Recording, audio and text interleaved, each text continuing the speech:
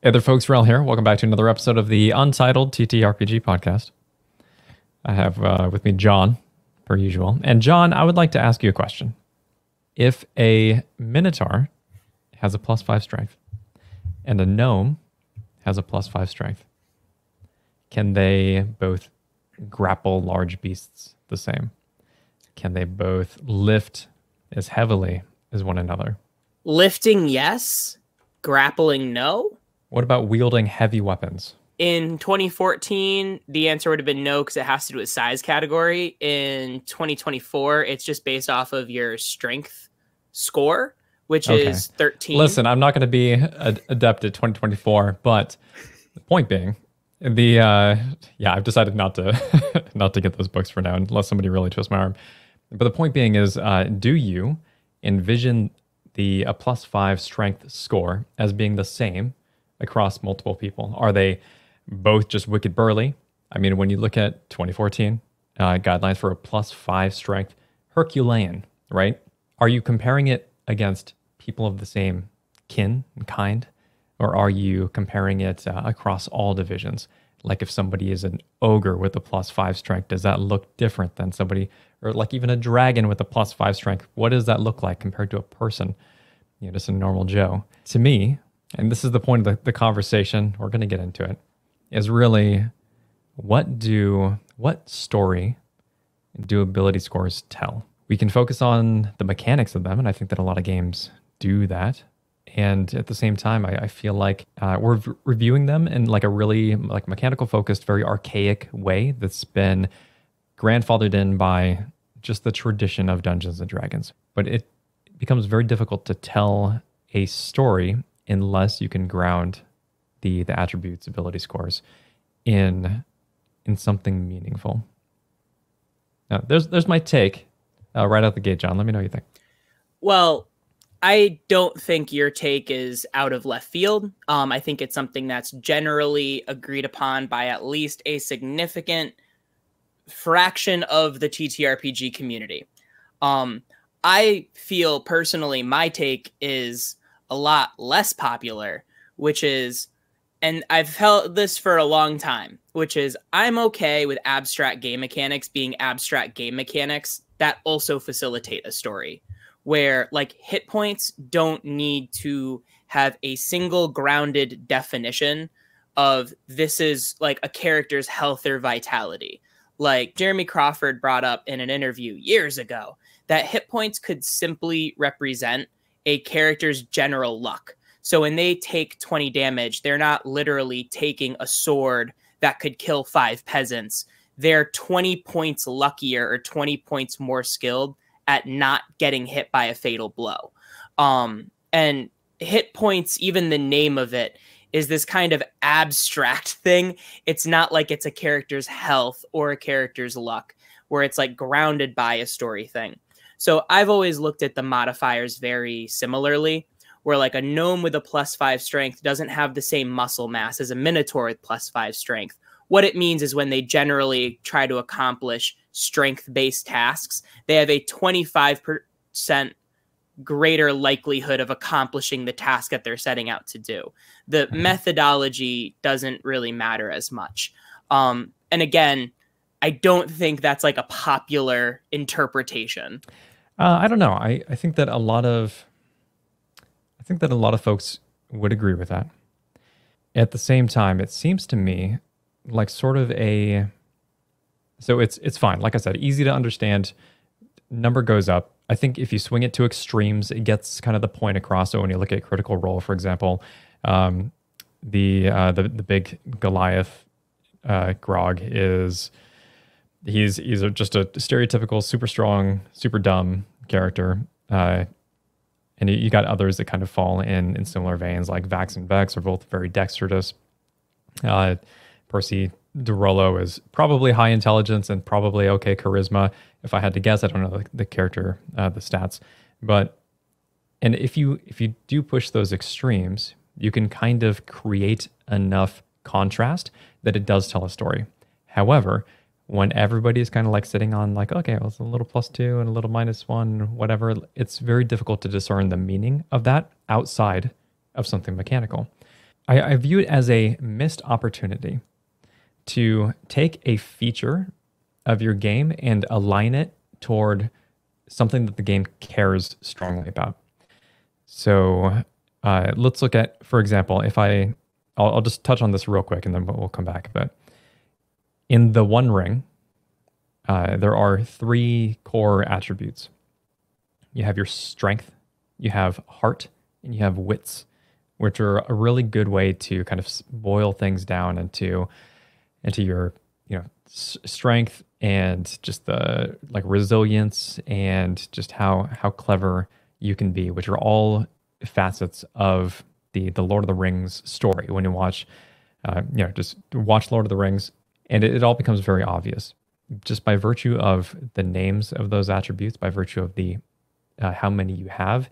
It tells you that hey, we don't care really strongly about how like you know, how dexterous are you, you know, um, because that can kind of be explained away. And even strength, the skills that are listed under it are things like awe or song. So it's it's not even strength in the traditional sense of pure physicality. It is the ability to exude this sort of like um, this this power, this prowess, this uh, something captivating uh, about the character. To me, that's that's an example of a game that very tightly uses their mechanic to to set the tone for the world. And when I think about something like Dungeons and Dragons, the mechanic doesn't do that. Yeah, um, you actually said something that crystallized this lingering feeling I've been having about D and D in particular, um, which is it's a missed opportunity. Um, so specifically to come back to uh, Grog, who is the barbarian from Critical Role, um, he's actually a good example of the whole gnome minotaur thing you brought up, which is uh, Jeremy Crawford, while interviewing about the new barbarian design, just casually dropped that rage is this supernatural magical effect. So when you're looking at, you know, why is this gnome as strong as a minotaur? Like the throwaway explanation just tends to be it's magical. Like it's magical, it's supernatural. Don't think about it, move on. And that's where I, I think you've got a really strong point in that it is a missed opportunity. You know, even assuming that strength is the raw power that a creature has, why are they so powerful? Are they so powerful? Is it a mundane thing where they just worked out a lot like Batman? Or is there some kind of magical quote unquote magical fuel, like say Superman. Like Superman's strength is very different than Batman's strength. And how can we convey that with different monster types to demonstrate how the world works? And again, like you said, D&D has this weird legacy of tiered play where it's like minotaurs are CR3, so level 3 characters need to be able to defeat them.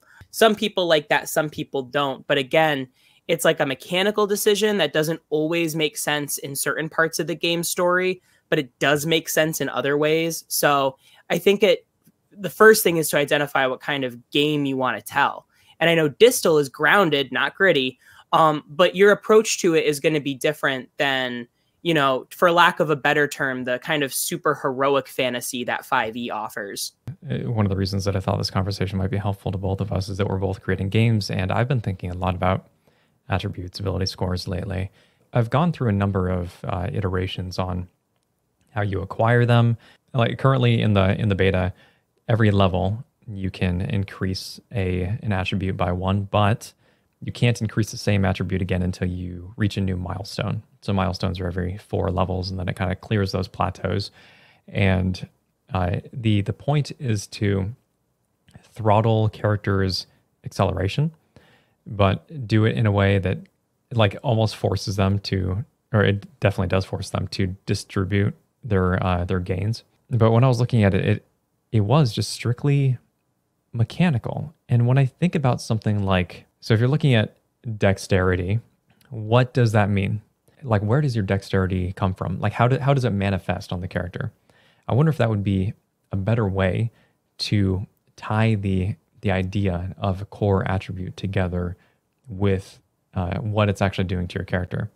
Or are you uh, strong because you're just burly, totally ripped, or are you more athletic, or maybe you're just just bold you know you're you're uh, confident even or maybe regimented just like super practiced in what you do all of those things could could technically be strength i mean they could be a lot of things but giving yourself kind of uh, traits to help describe the character might be an easier way to kind of bridge that gap between strictly mechanics and character concept. Yeah, I think another way. So this is something I'm tinkering with with my own system, but making sure each ability score actually matters. Like, so you you brought up the example of Grog, who's big, burly, dumb guy.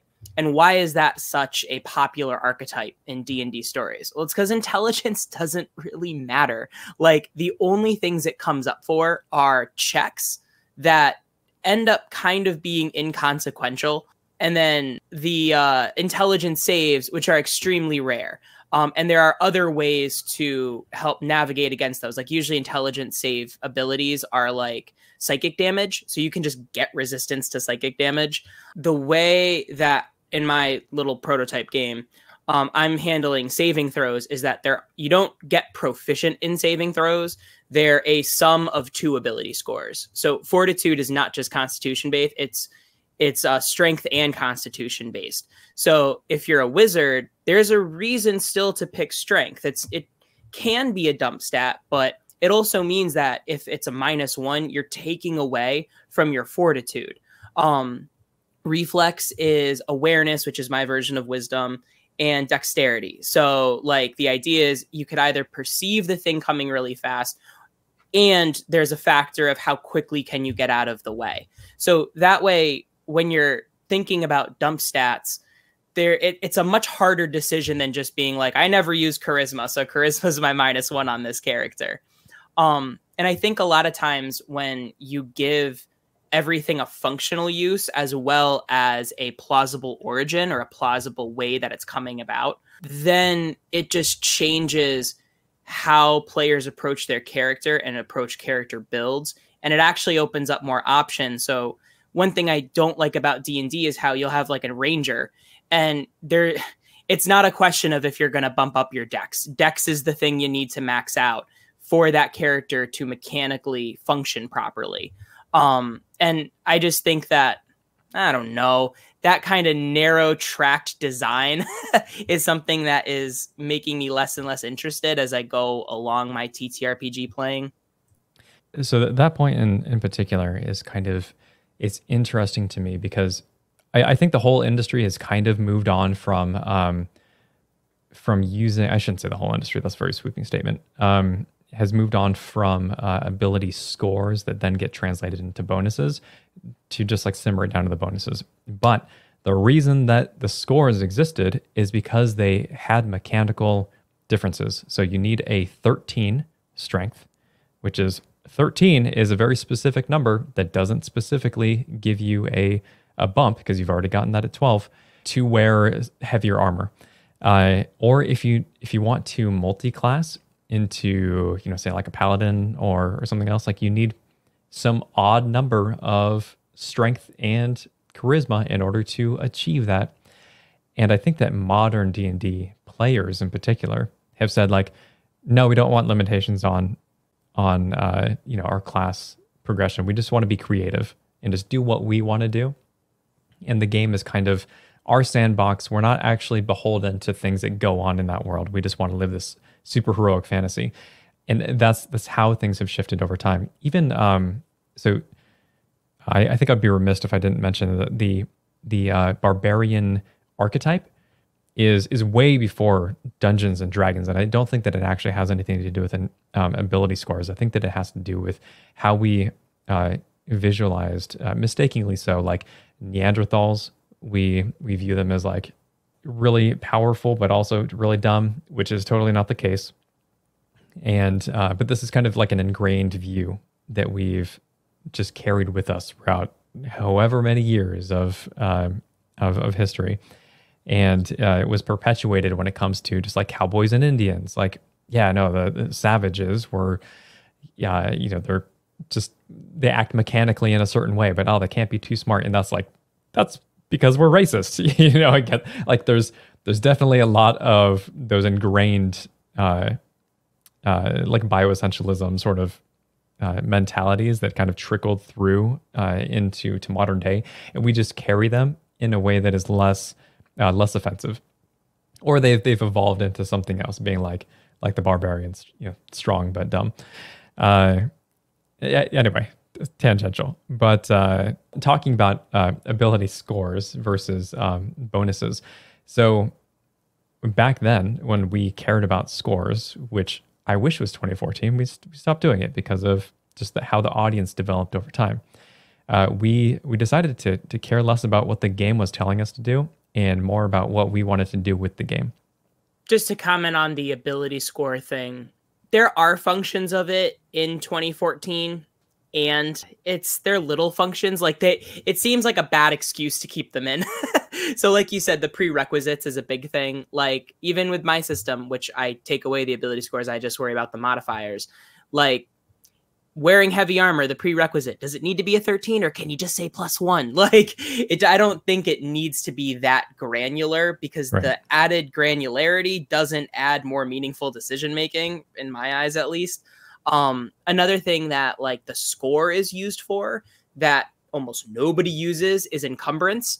Um, which is something I'm very interested in. I don't think players should be able to Skyrim it and carry 27 enchanted swords on their person at all times. I don't think that's particularly interesting myself, but. You, you mentioned meaningful decision making. Yes, I think you're correct uh, in that it doesn't necessarily create different decisions, but I think that it gives you that little bit of progression feel like you can work towards something, uh, which you can't do if you are operating on strictly modifiers. Uh, I shouldn't say you can't do that. Um, I should say that you have less wiggle room with how often you can do that and the types of things that you can do. I, I wonder how much value uh, attribute scores even have in in D and D anymore. Yeah, this is this is the balance, the two extremes, which is how granular do you want to get, and how excited are your players are about that granularity. And I'm gonna go out on a limb and say like 5e D&D, no matter which version you're playing, um, kind of sits in the middle. uh, so in that system, I don't think that the ability scores, like the the double digit scores, matter as much as the modifiers. Um, something like Pathfinder is much more granular, um, granular to the point that my table rejected it. Um, there was just way too much to keep track on. It wasn't exciting for my players. Um, but there are definitely other people I've met where that is their jam. They love having as many different little settings and uh, levers and buttons to tinker with in order to fine tune their character to be exactly what they want to be. And I've met other people that say even 5e is too many rules um, where they want more of a rules light system, which I think would speak more to a lack of modifiers. I mean, Savage Worlds is a system I have limited experience with. And if you play Savage Worlds, feel free to correct me in the comments. Um, but the skills aren't modifiers that you're adding to as much as it is the size of your die. So you start with a D4 for a certain skill, and then as you get stronger at it, you can upgrade it to a D6 or a D8 and so on and so on. So it's like it's a different way to show that progression, but without the map side of it. It's just a different rock that you pick up with different amounts of sides. So yeah, there's, there's totally there's so many different ways to to handle this sort of exploration of what a character can do, and uh, ability scores don't necessarily need to be the thing. It's that that sort of dice pool system is another way to handle it, and tells a lot more about a character than the than the abstract, I feel like, of strength, dexterity, constitution, that sort of thing. A really great example of this that is also built into the core mechanics is a game called Memento Mori. And it's a very dismal game. You are playing a character that is going to die. Uh, you are gifted with some sort of vision, and then there's a corruption that takes hold. And you, the attributes are things like uh, cerebrum, uh, viscera, uh, limbs, I think is is one, and then your your blood, and then there's a, there's another one. There's like four main stats total, and then blood is one that's always factored in, and based on uh, the the things around your character sheet, which even like your name can factor into it, even your your virtues and uh, whatever else can can factor it uh, into it. When you're making a decision, a check, you will roll a certain amount of die and you count up successes. Uh, and you always roll your blood. The thing about the blood is there's always one pip that is corrupted. And this is a, a black die that you roll. And if you get a six on it, it's a dark success. The thing about a, a dark success is that you also fill in another pip on your, your blood die. And eventually, when you fill up your, your blood, there's only three pips. You take that corruption and you stick it on one of your other attributes.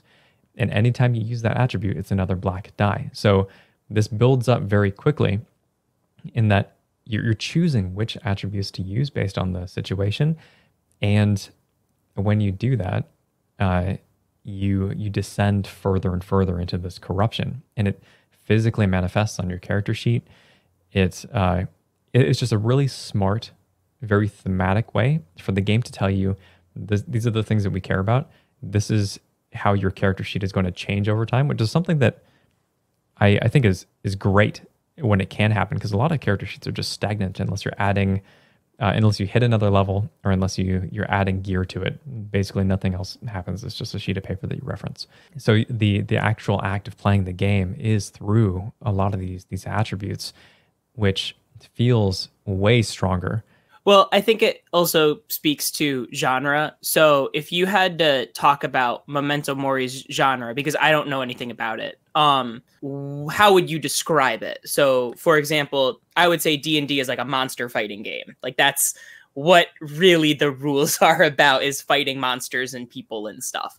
Um, whereas something like I haven't played it, but Call of Cthulhu feels more like a social interaction game where combat is like very quick and bloody and not really the point as much as it is exploring your character's psyche and how they change over the course of the story. So like what what is Memento Mori's genre within the TTRPG space? I, I feel like, and I could be wrong. I watched um, David Thomvor's Thaumavore, uh, his review on it, which I'll, I'll put in the show notes. It's is it's a, a, really thorough explanation um, of of the game, but it feels more like Call of Cthulhu esque, where you are doing less. Uh, like I don't think there's any tactical combat in it. It's more about you have something that you want to do with your your character, like some sort of virtue that you're chasing, or, or some dream rather that your character is motivated by, and you're going through the world uh, trying to complete this task, basically before you die, before you turn into a monster. So you have to have buy-in, like right from the start but at the same time, I don't think that this idea of integrating your attributes into into the actual game mechanics, nothing about the the game would would change if you if it were more focused on tactical combat because you can still do the same thing. It's like okay, if my character is is cunning, I'm going to use my dagger and my cunning and you know roll that as damage instead of whatever. So I I don't think that uh, that what we have now in in Dungeons and Dragons is necessarily what it would need to be in order to to maintain like the status quo. I think there's plenty of different ways that you can make use of attributes that are more uh, thematic, but at the same time, in, in Dungeons and Dragons, we're, we're really aiming for mediocrity and, and mass acceptance and ease of understanding. So, so maybe this is maybe this is the best iteration uh, of it.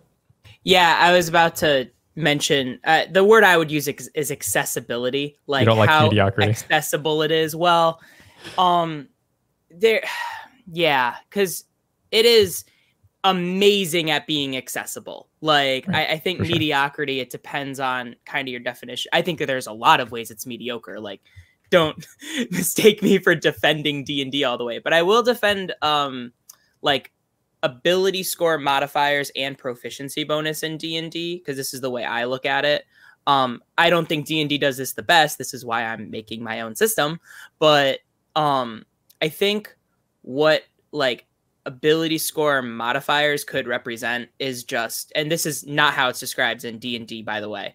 Um, is just your character's general conditioning um and their general attributes whereas their proficiency is like demonstrating some sort of specific area of expertise. So, for example, I don't mind strength, dex, constitution um, as my three physical attributes um, because having taught martial arts for years, I've definitely met people that are highly dexterous, not very strong, not a lot of constitution, but you know, they can wiggle out of a out of a lock, you know, like a little snake or something.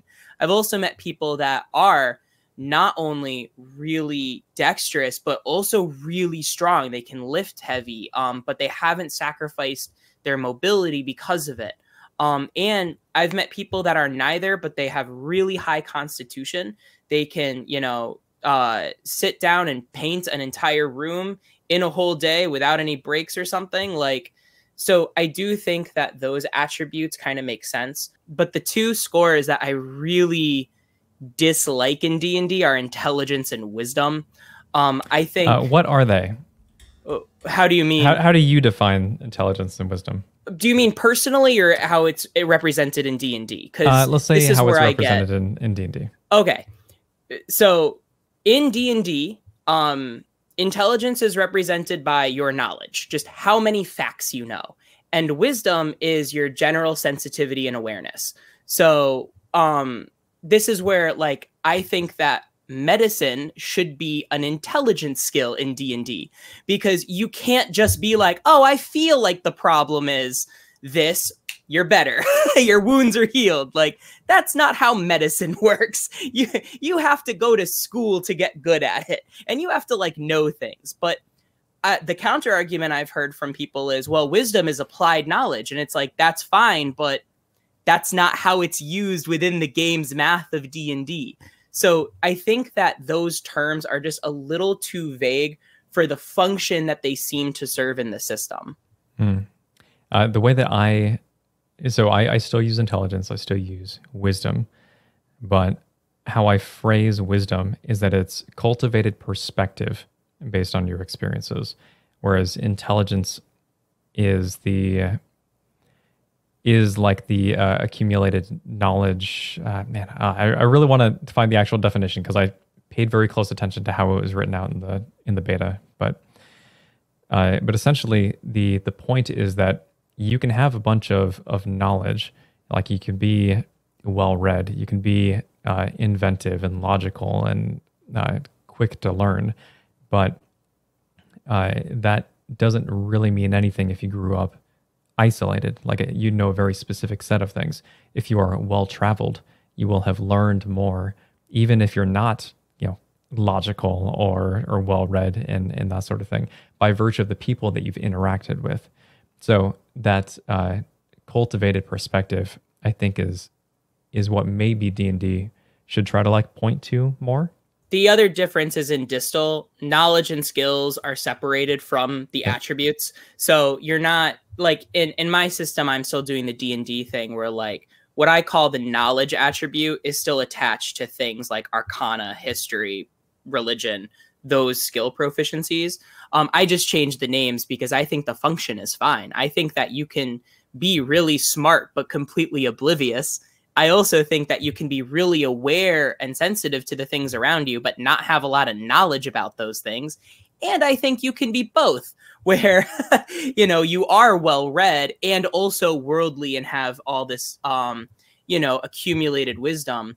So the note I made in my like core rules document is just intelligence and wisdom, those vague concepts, whatever they mean for you as the character or, or as the player role playing the character, that's up to you to convey and define the however you want. I just feel like especially intelligence can be like a loaded term for a lot of people and rather than get stuck trying to get someone on board with my definition, um I just want to remove the confusion from the game. For for influencing people, deceiving people, uh, that sort of thing.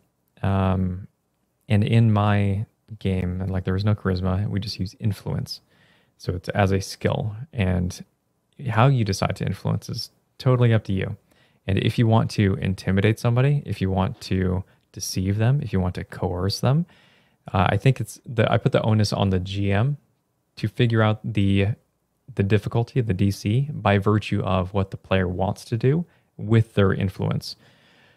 So that way, it, it kind of it contorts that, that concept a little bit, and I think feels a little bit more natural than funneling it through the uh, the ability scores. It, I mean, there's there's no one correct way to do that, and I think that you eh, throughout our conversation that should be abundantly clear.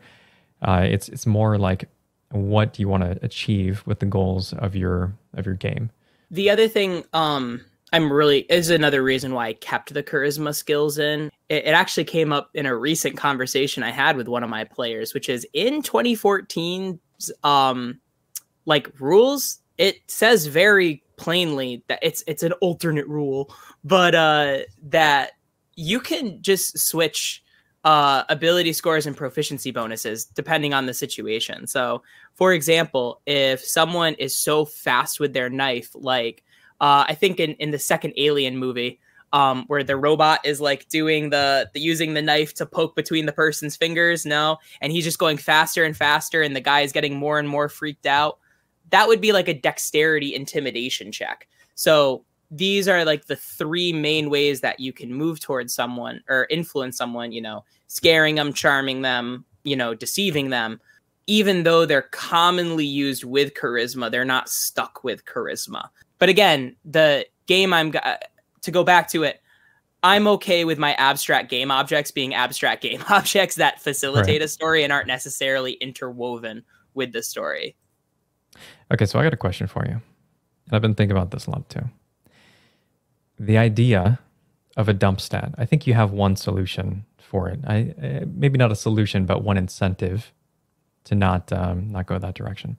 Uh, what would a game without a dump stat, but still having attributes, ability scores, uh, what would that look like? Can you can you like get a little more specific for me? Like, what sort? I mean, can, I'm I'm very much putting you on the spot. Um, what sort of mechanics would be implemented in order to avoid the entire concept of having a dump stat? It's a good question. Um, because even so, if you don't put bonus in something, you that is essentially the dump stat, right? Right, uh, right. Well, again, I think it comes to how much the stories you want to tell in your game value the individual versus the group.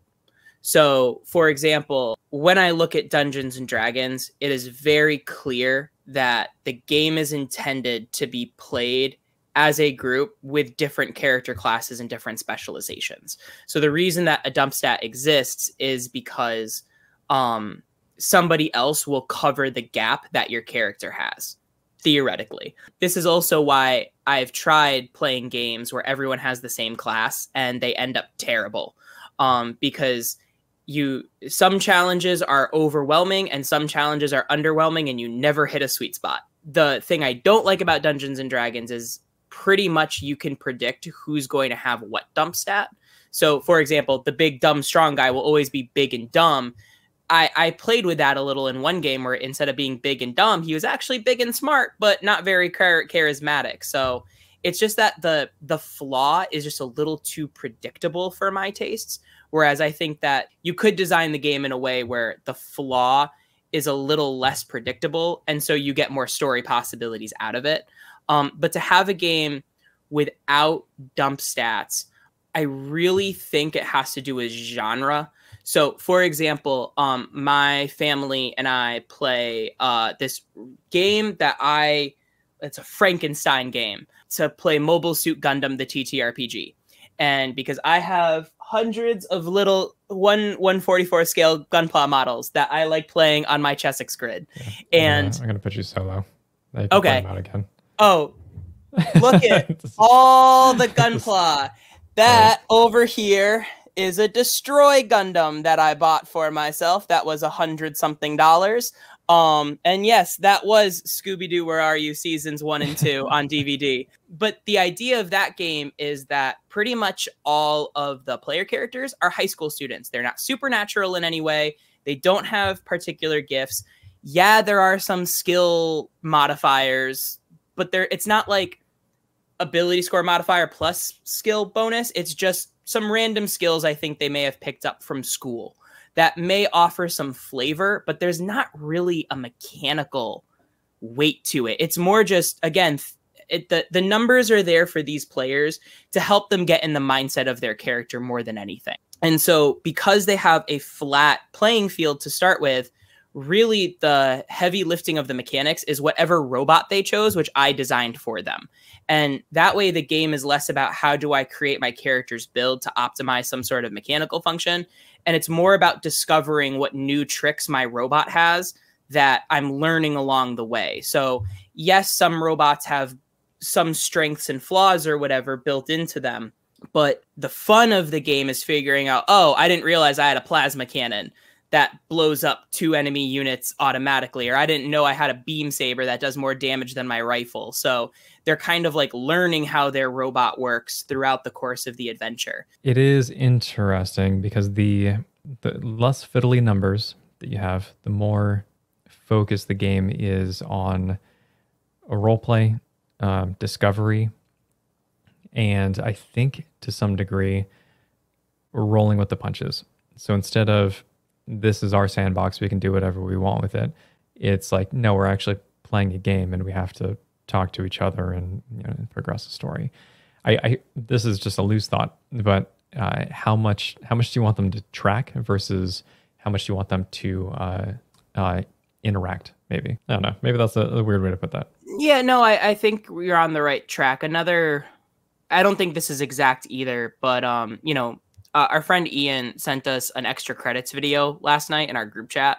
Um, and one of the things that they were talking about was just if you want to make them think, you have to have clear rules, and if you want to make them feel, you have to kind of hide the rules.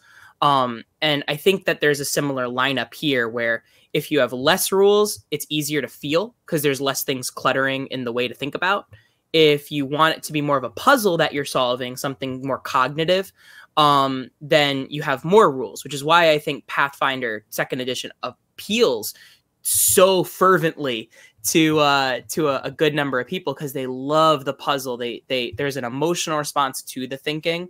Um, for other people, there's a frustration to the amount to have to keep track of. The majority of my experience with Pathfinder comes through the Glass Cannon podcast, which is a like something that I've been listening to for years at this point, like what more than four years or something. And is it first edition or second edition? So it was first edition. They moved to second edition within the last uh, however long.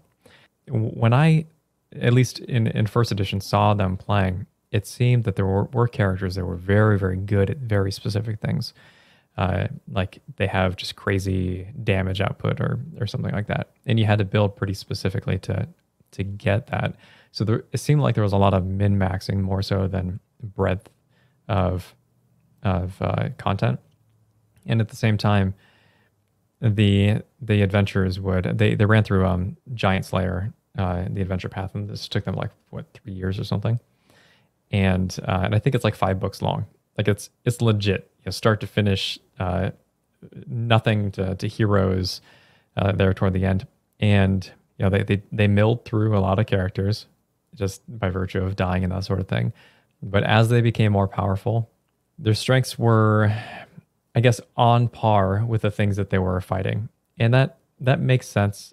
But a part of me always wonders about a progressing a character in in that vein when you're at the same time diminishing the value of the progression that the characters uh, gain and I, I don't think that it's a bad thing. Um, I know it's something that um, Destiny 2, just as a video game, struggled with a lot because they they scale all of their like uh, environments and that sort of thing. Uh, so as you become stronger in power level, the things that you're fighting, like basically, you feel like you're doing the same thing the entire game at the same time that you're just like trying to get more and more powerful. It's it's really weird, um, weird on its head. It's fun when you're playing, kind of, sort of. So I, I wonder if mechanically wonder what the real value is of increasing these numbers when when ultimately you're going to be fighting level appropriate mobs that do a level appropriate damage and you're basically going to just continue playing the same game. Is it an illusion of progression? Which is fine. Again a lot of people like that. We need the carrot on the stick to keep us playing. But at the same time part of it does feel a little bit maybe disingenuous is too strong of a word, but it's very gamey at the least. I, I've had this conversation a few times with a few of my friends, and I I think that's a possible route, but I don't think it's the only one. which is just uh, actually the one I think about is Pokemon. Um, and and Pokemon Red and Blue because I'm a Gen Oneer. Uh, so when you first play Pokemon and you first get your little monster, um, the only thing they can do is like tackle and growl. Those are like the only two options, and really tackle because you're not going to sit there and growl at the other person. So when you first start playing the like the original games, the only Pokemon you can fight in the wild are like Rattatas and Pidgeys. It's a very simple, mind-numbing game of just hit the other person harder than they can hit you. But as you start to progress toward, you know, the first and second gyms, you start learning about types and that adds a complication. So it becomes more about um, you know, making sure I'm I'm matching up the rock paper scissors effectively. And you can pr- pretty much get through the entire campaign like that. But as soon as you start playing multiplayer, it becomes a whole lot different where now you have to factor in, you know, adding in conditions and which conditions are going to make the most sense, factoring in critical hit rates. Um, if we're talking about Gen 1, you know, lining up your special attackers and your, your speed values. Um, and then, you know, you get to the later games and you start factoring in abilities. So the game, yes, your character gets more powerful, but the the interaction gets more interesting because it gets more complex and there are different dimensions that you're adding on too. So, you know, I think Baldur's Gate 3 did a great job of showing how D&D 5e in particular can start relatively simple by going up and just hitting the imps. Um, but you know, that final boss battle had a lot of layers to it. Um, and it wasn't just a straightforward damage slog. Um, so I think that as designers, as we're thinking about characters getting to higher levels, just the monsters as well are not the best tool for creating engaging combat. It's thinking of things like the environment, changing the wind condition, changing the uh the circumstances. So you know what's the weather like? You know if the battlefield is raining how is that going to be different than if it's sunny? Like all these different ways that we can complicate it are ways to engage our players and make it more interesting beyond just we're fighting the level 80 crowd instead of the level 2 crowd. I feel like we're we've sl- slightly gotten off the the topic of attribute scores, but if you had to change something about the way that D&D specifically handles their uh, ability scores, what would you do? Make each ability score mean more um, and don't tie class abilities to specific ability scores. Like give that them a is very popular uh, nowadays. I feel like, uh, and a lot of games are trying to solve for that particular problem. So DC twenty, just as an example, has like a like a prime modifier, which is I don't know. It's like the participation trophy of of of ability scores. It, you you always get your proficiency modifier. It's essentially a proficiency modifier, but it's based on your attributes. But at the same time, you have to have like you, need to make sure that your uh, your highest attribute is one that you're using for combat. it makes more sense when I'm when you're looking at it, but but the problem that it's trying to solve is is that you want to be able to to be as effective as you you should be without compromising on the stats that you're you're putting points into. And and I feel like that idea of everybody can be anything that they want and there's no bad way to build and everything's fine is a very I certainly not for like I, I don't know that I want that for distal because the game is is all about like hardship and earning your triumphs instead of them just being handed to you. And I think when you create the expectation that everybody's on the same playing field, you're doing yourself a disservice in creating less interesting characters. And I think that we disagree on some of this stuff. But yeah. I yeah, okay. Um, well, yeah. so I think it, it depends on what your ability scores represent.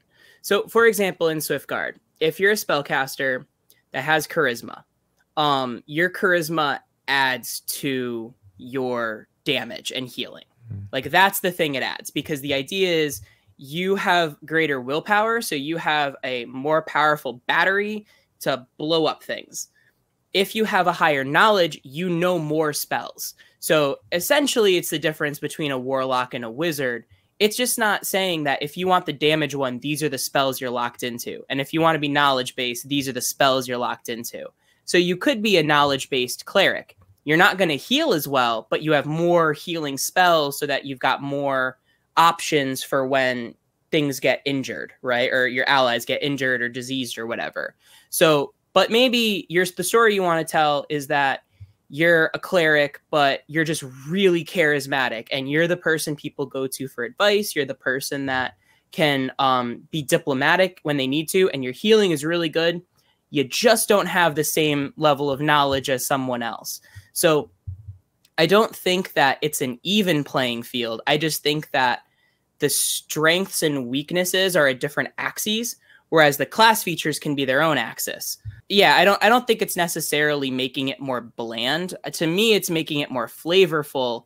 Earlier, we were talking about uh, what a game could look like if you didn't have a dump stat. And one of the ideas that I was kicking around, I don't know if it's right for for Distal in particular, but your your negative attributes. What if that served you in some way?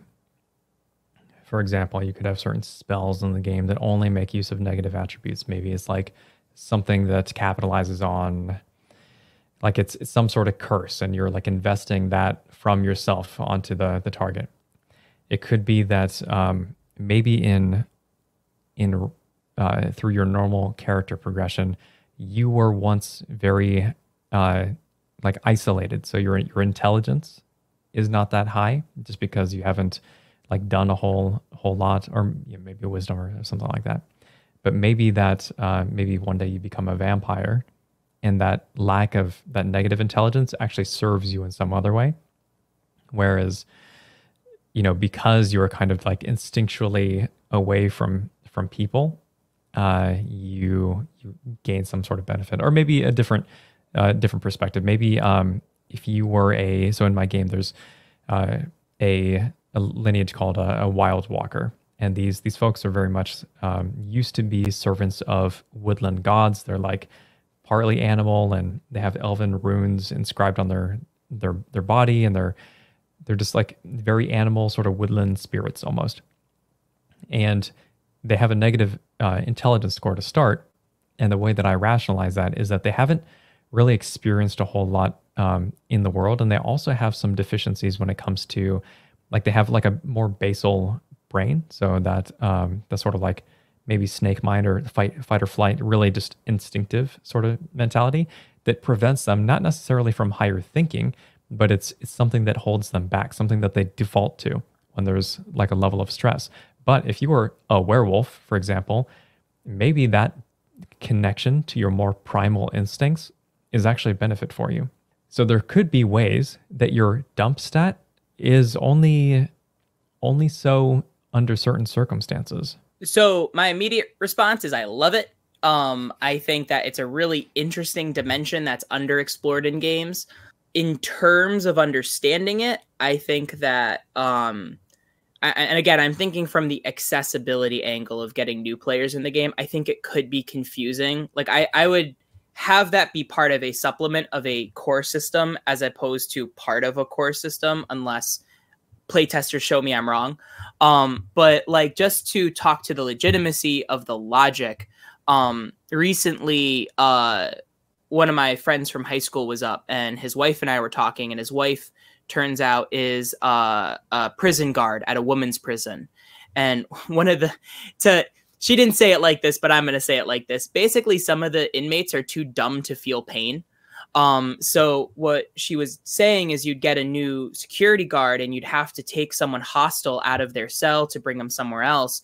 And the the problem is a lot of these security guards would uh, like default to uh, ballistic compliance, like hmm. basically hit them. And the problem with that is if you hit them, they won't act the way that someone would hit uh, we would get hit you know? If somebody punches me in the mouth it would be different than if somebody um these kind of these people are getting punched in the mouth. So and the other downside to it is that you could injure them and they wouldn't know. So like you could crack a rib and then you as the guard get in trouble even if you were defending yourself um and this person could so she was describing how like joint locks and stuff are are much more uh reliable because you know they can't move. So whether or not there's pain involved like it's it doesn't matter. You've you've immobilized them somehow. So but it, it's exactly what you're saying which is in, in this case like a negative to awareness or whatever would actually result in less damage getting taken um, or put off the damage as like temporary hit points or something like that. So I could definitely see some interesting stories coming about um, with that line of thinking. Yeah, that's that's an interesting thought. So right now, um, as you accumulate death marks in the game, so your experience with death, your your maximum HP goes up by one. But now I'm, I'm thinking like, hmm, I, I wonder if if you could do that with the negative stats, like that would be seems interesting. Okay, well, do you have any any more on ability scores? All right, our conversation was all over the place, but hopefully, hopefully, you uh, found this video interesting, helpful, or entertaining. And if you did, please feel free to like, subscribe, tell your friends about the channel, and uh, we'll catch you next time. Thanks very much, folks. You're all signing off.